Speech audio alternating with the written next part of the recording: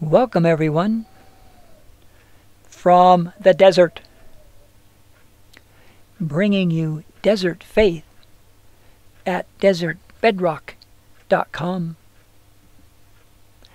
Let's begin as we begin all things holy. In the name of the Father, and of the Son, and of the Holy Spirit. Amen. The following is an excerpt from the Divine Office, also known as the Liturgy of the Hours. The second reading that is taken from the Office of Readings. From a sermon by Saint Sophronius, Bishop. Let us receive the light whose brilliance is eternal. In honor of the divine mystery that we celebrate today, let us all hasten to meet Christ. Everyone should be eager to join in the procession and to carry a light.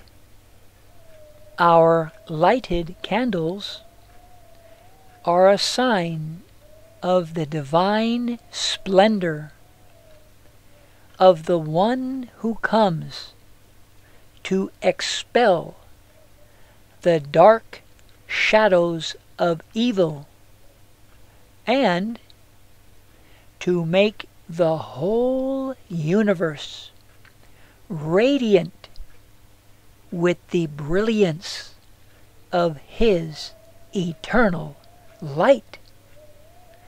Our candles also show how bright our souls should be when we go to meet Christ.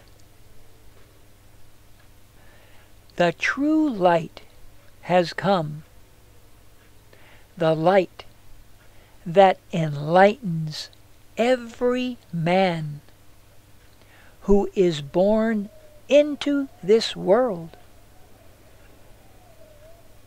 Let all of us, my brethren, be enlightened and made radiant by this light. Let all of us share in its splendor and be so filled with it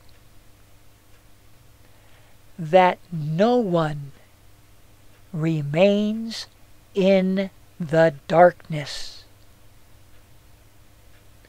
Let us be shining ourselves as we go together to meet and to receive with the aged Simeon the light whose brilliance is eternal. Rejoicing with Simeon, let us sing a hymn of thanksgiving to God, the Father of the light, who sent the true light to dispel the darkness and to give us all a share in His splendor. From the desert, with desert faith,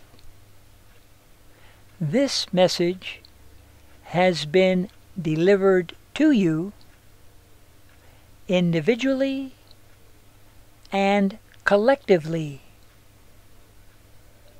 Each and every syllable, word, and sentence all in the name of the Father and of the Son